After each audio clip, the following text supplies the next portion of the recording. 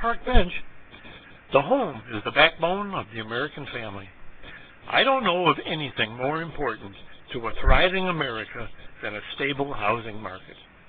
Not only does it provide millions of jobs covering all aspects of commerce, from transportation to education and everything in between.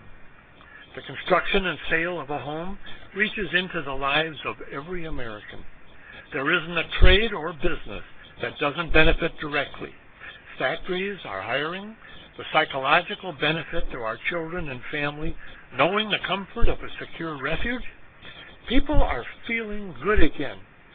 We're looking at a window of opportunity that is precarious at best.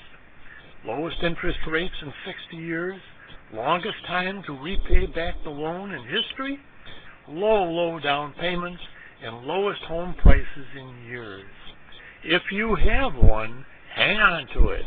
If not, get one today.